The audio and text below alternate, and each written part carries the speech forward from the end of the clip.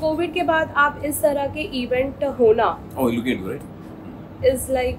आपको कैसे महसूस हो रहा है? फिनिक्स मार्केट सिटी में you are going live with the audience so how is the feeling कैसा लग रहा है आपको? After, two years, it's been a long time, you know, and uh, uh, Phoenix में मैं पहले ही परफॉर्म कर चुका हूँ और यहाँ पे क्राउड बहुत ज़बरदस्त होता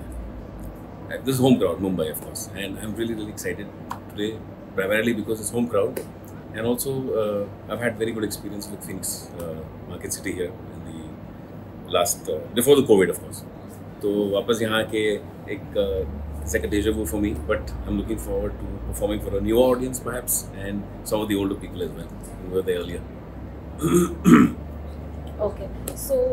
second question would be KK की आवाज़ के लोग करीब करीब 26 साल से दीवाने हैं अच्छा सो आपको क्या लगता है? लाइक आपका आप किस तरह से लाइक आप गाने में प्रेजेंट करते हो? क्या आपके दिमाग में वो थॉट रहता है कि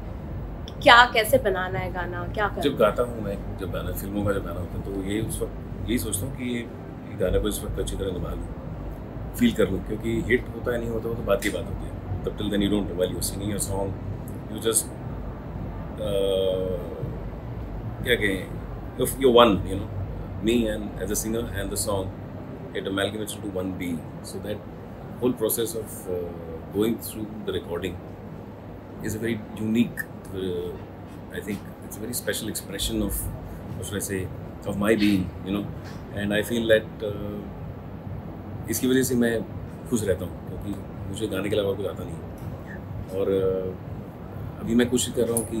do my own stuff so let's let's hope for the best okay so आज के रिमिक्स संगीत कल्चर पर आपका क्या कहना है? ऑनेस्टली मैं ज़्यादा सुनता नहीं हूँ तो मुझे कुछ पता नहीं है, लेकिन मेरे फ़ैन मेरे को बोलते हैं, सर, आप गाते नहीं हो, आजकल कम गाते हो, ये है, वो है, हम रिमिक्स सुन सुन के थक गए हैं। तो अब चल तो रहा है, लेकिन थक गए मतलब it's a hit so it's working तो people are listening to it right so it's a trend it's it's it's a it's a phase which works in different times you have different kind of music happening so I guess it also has this time जब तक चलेगा चलेगा। And in my days also I used to listen to remixes when we were young kids, you know, we used to have remixes songs to dance to. So it's okay to dance to, but otherwise, as a mainstream uh, music space, I would say remixes, I think, overdone. It's okay to just go to a party and dance to remixes, fine. But otherwise, अगर हर वक्त ही remix चल रहा है तो फिर थोड़ा बोरियत तो होता ही है ओके सो आपको कॉन्सर्ट ज़्यादा पसंद है या स्टूडियो रिकॉर्डिंग्स ये आपने बहुत कठिन सवाल पूछ लिया क्योंकि दोनों जो हैं एक सिक्के के दो पहलू हैं। अगर मैं रिकॉर्डिंग ना करूँ तो कौन में क्या कहूँ? और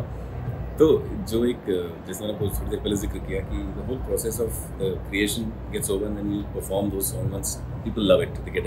अगर हिट हो जाता है गाना तो फिर आप उसको परफॉर्म करते हो। But nothing compares to the higher performing life for an audience जैसे अभी फिनिक्स मार्केट सिटी होने वाला है मैं बस वेट कर रहा हूँ कि जब स्टेज पे जाऊँ and rock the audience because you know that Think uh, it's a part of me now. कि मैं अगर मेरे को अगर एक हफ़्ता दस दिन शो ना करूँ तो मुझे लगता है कि लाइफ में कुछ हॉलोनेस लगता है मेरे को shut the door so I feel that two years जो निकला uh, ये कोविड की वजह से I wish everybody mean great health and happiness but I'm saying we all survived it and we are all well now I think it's good to be back to normal life you know normalcy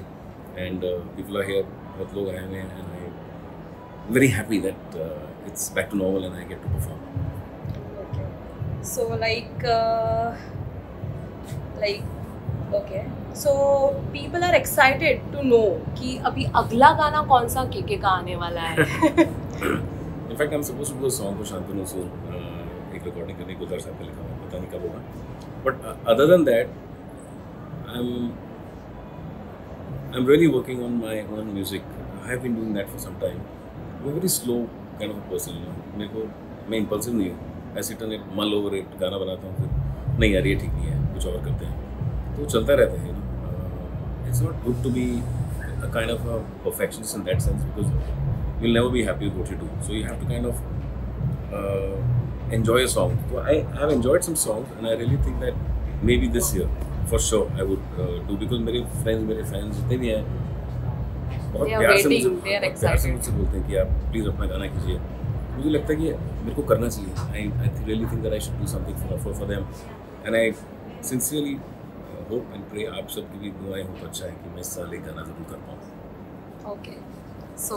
how you will close this like कैसे event में कौन से songs आप add up कर रहे हो आज? And how things are देखिए जो यहाँ पर लोग आते हैं मुझे सुनने के लिए उनको तो उनको मेरे uh, जो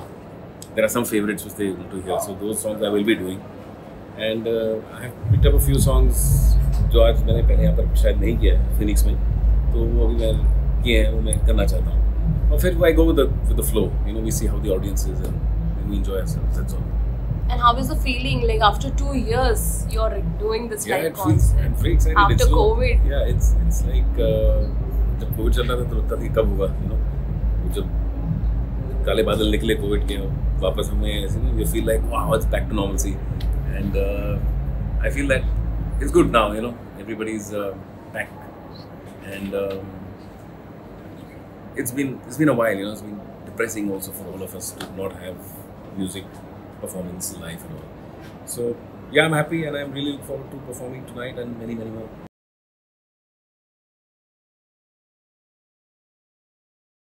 परवाह देश की सोमवार से शुक्रवार रात 10 बजे टीवी 9 भारतवर्ष पर।